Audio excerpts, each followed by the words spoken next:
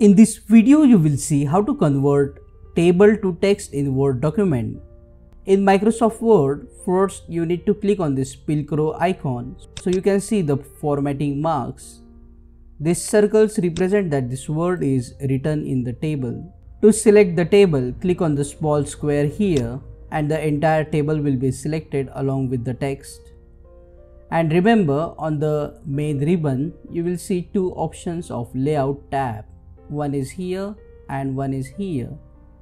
You have to click on the last layout tab and to convert table to text, here is the option.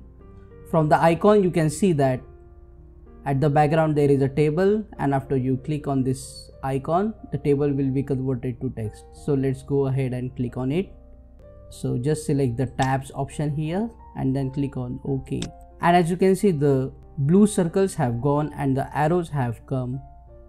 That means that this is no longer a table and it is a text. Now to remove this formatting marks just click on the Pilcrow icon.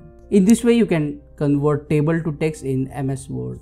Click on that like button, comment below and let me know if this video solved your problem. And don't forget to check out these useful videos related to table in Microsoft Word.